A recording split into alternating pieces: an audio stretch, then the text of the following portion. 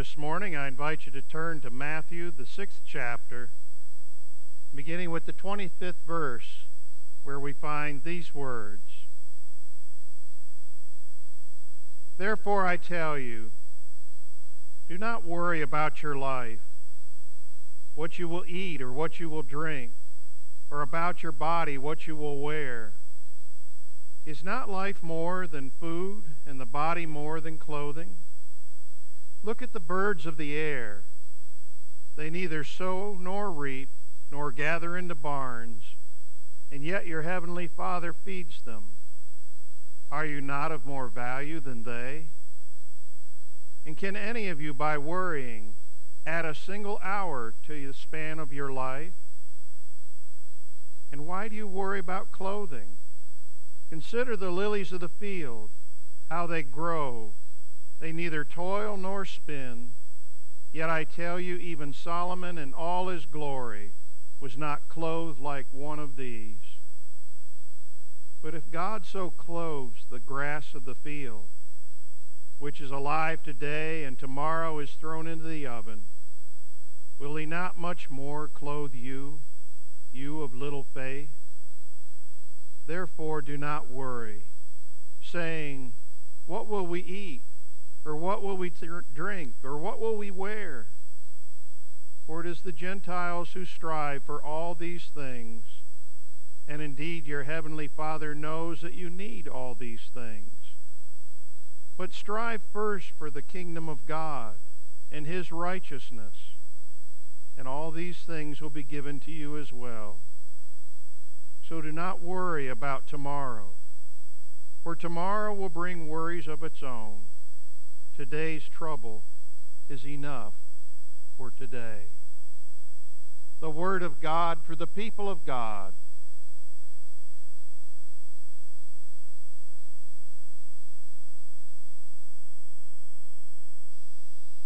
I want to take you on a trip. I want you to imagine with me right now that we are suddenly on a hillside, lush with green grass. We're all sitting down on the grass because there's no chairs, there's no pews. We're just sitting down on the good solid earth. The sun is shining. And as we all quiet down, you can hear the sound of birds in the background chirping. As we look around us, we see these fields of the rose of Sharon, the, these red flowers that just cover the area. Absolutely beautiful. An amazing sight, either direction we look. We're sitting there, and Jesus begins to speak to us.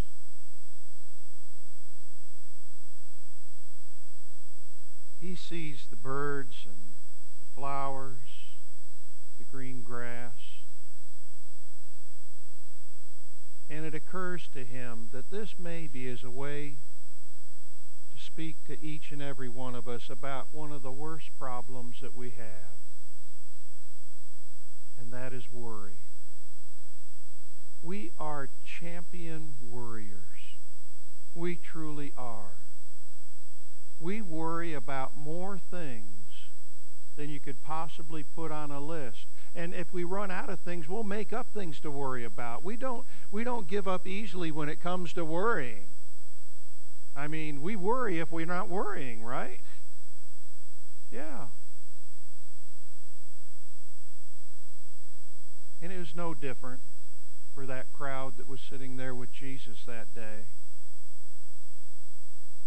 He said, Why, why do you worry so much about so many things? Why are you so worried? Do you worry that you won't have something to eat? Do you worry that you won't have the, the right clothes? Do you worry that what, what is it that you're worrying about? We understand exactly what he is asking us because we worry about all those things. We worry to make sure that we got the, the right stuff and enough of it and all of those sorts of things. And he looks at us and he says, Look, do you hear those birds?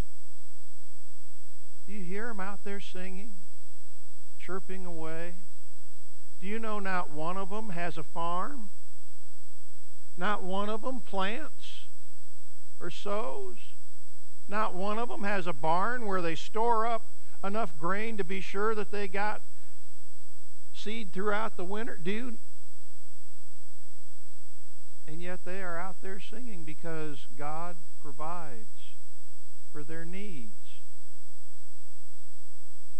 Do you think you are worth less to God than those birds?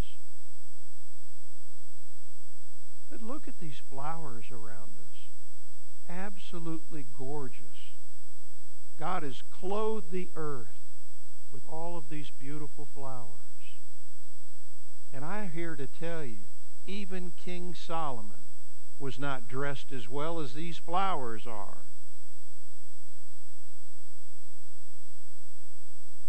And yet you worry? You worry about what you're going to wear? If you've got the right label in your clothes? You know, those clothing manufacturers got real smart because not only do you need to be sure you got the right label, but they put the labels on the outside now so everybody else can see you got the right label. Because after all, you wouldn't want to be wearing just clothes, right? I mean, you want the right clothes. And we worry about whether or not we've got the right clothes because last week's right clothes aren't the right clothes this week. Yeah. We worry about a lot of things. One of the things that we worry the most about is tomorrow. And if and if you are worried about tomorrow, you got a lot of people around you that are same place. We worry about tomorrow. And why do we do that? Well, you know, there's some wisdom, right, in making sure that things are covered for tomorrow, making sure. We worry an awful lot about it, though. We want to we want to make sure we've got not only tomorrow tomorrow covered, but all the tomorrows that are coming after that. Right?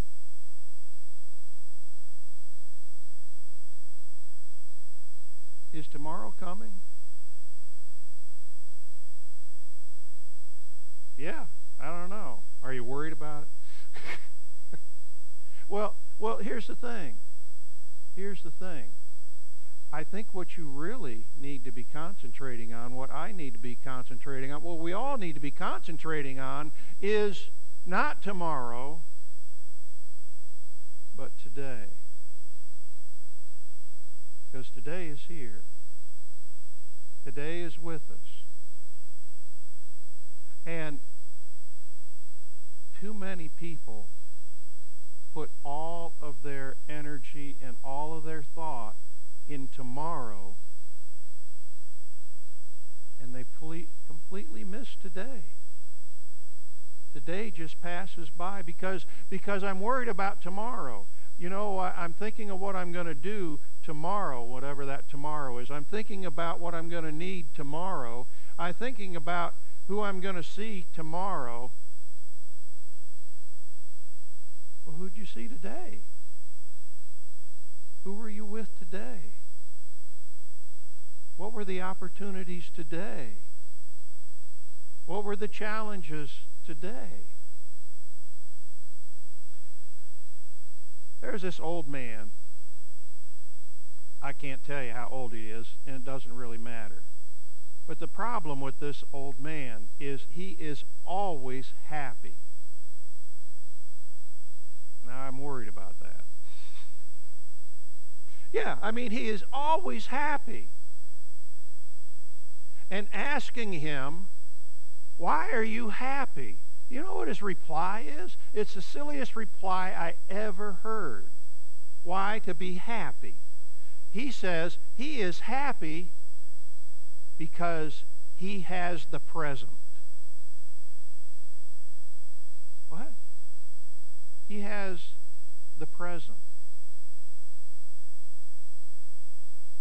Really? I've got the present. I am enjoying every moment of this moment. I am invested in this moment. Well, what about tomorrow? It hadn't come yet. What about yesterday? It's helped me learn how to better enjoy today. I have the present. Yeah. I can't tell you how many folks that I know, including myself,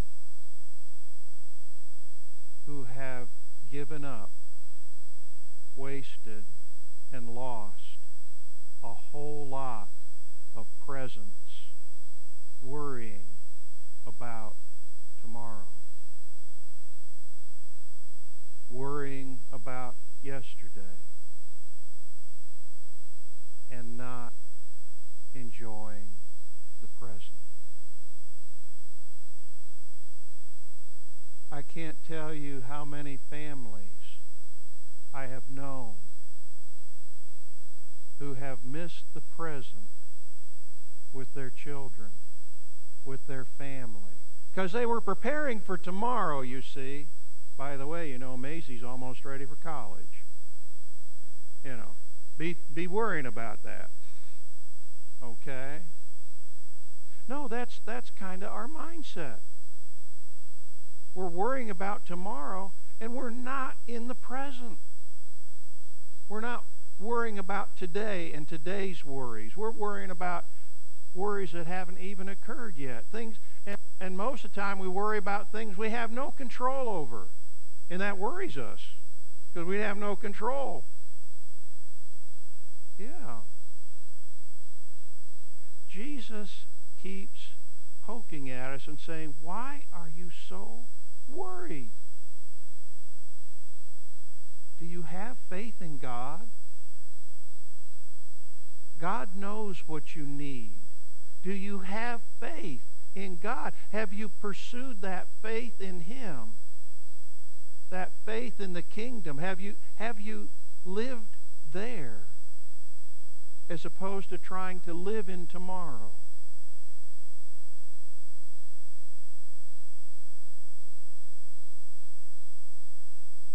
The present. That's today. Are you enjoying it? Will you enjoy it? Will you see it for what it is?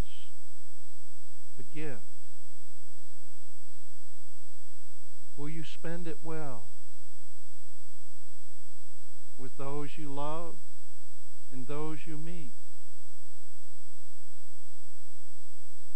One of my favorite warriors was Martha. You remember the story of Mary and Martha. Jesus has come to visit him. Can you imagine Jesus saying, Oh, by the way, I'm coming by your house tomorrow? Can you imagine that? Holy smokes. I mean, we would just be beside ourselves. We would, we would just have the place torn apart, you know. We'd be painting all the walls. We'd be tearing out the rugs. We, I mean, we'd just be doing, we'd be going crazy.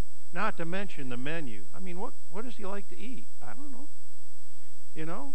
Maybe I'll try that new recipe I saw. On, no, no, I better not do that. Go with the old favorites. And, and, and you just worry, worry, worry. And Martha was just tearing the place apart in worry. And Jesus asked her, He said, Why, Martha, Martha, why are you worried about so many things?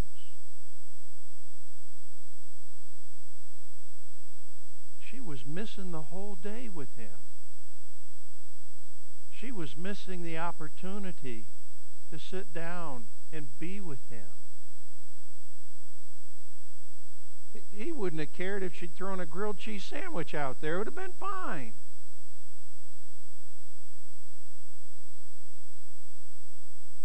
We can worry ourselves so much that we miss life itself. And he wants you and I to hear. He wants you. I know there are some things that are worthy of worrying about, but that's a very, very small amount of the many worries we carry. If you're looking for something to give up for Lent, because we're right in the in the beginning of if you're looking for something to give up, let me add to your list. Give up worry. All of those worries. And just say to yourself, I'm going to trust them with God. I'm going to let him have them and I'm going to enjoy the present. You know, one of the big worries that I hear from people, I guess I hear it because I'm a pastor, but a lot of people worry that they're not good enough. That they haven't done well enough, that they, that they haven't done all the things that God expects of them and they're not really they're really not good enough and if God knows everything I've done and everything I've thought and everything I've said through my entire life I, then I know I am not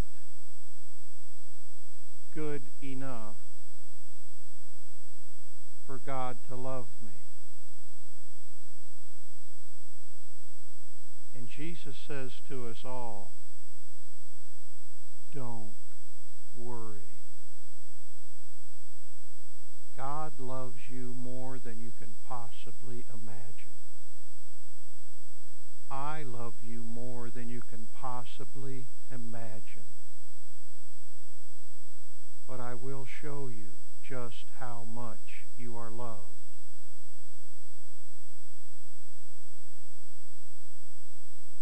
This table is given to us so that we might understand.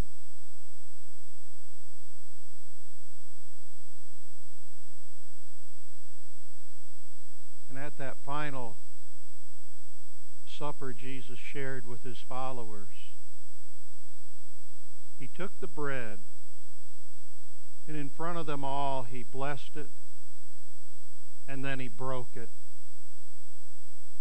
and he says, My body, like this bread,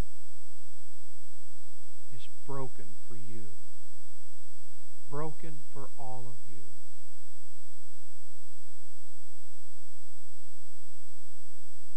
And then he took the cup, the cup of Elijah.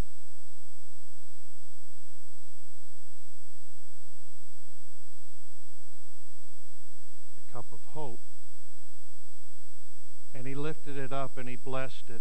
And then he gave it to them also, saying, Take and drink. For within this cup is my blood shed for you and for many forgiveness of your sins. I'm establishing a new covenant with all of you are forgiven.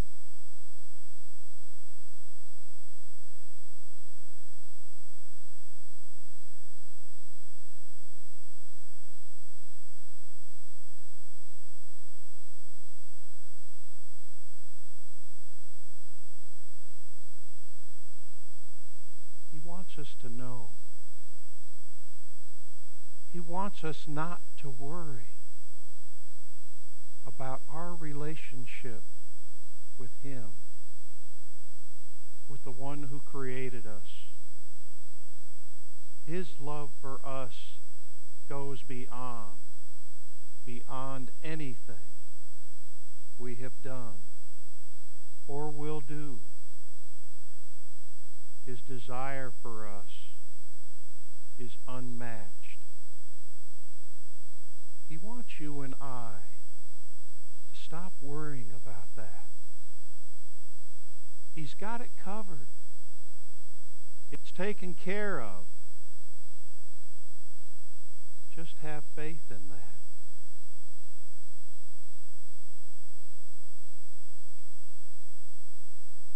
This is his table. If you are visiting with us today for the first time, you need to know you are welcome at his table. Each and every one who desires to receive is welcome at his table. I'm going to ask those who are helping to serve to come first. And once they have received, our choir will come down and they will receive. And then finally, if you will come at the direction of the ushers, you too are invited to be at his table. And I will tell you, all the bread is gluten free. One less worry.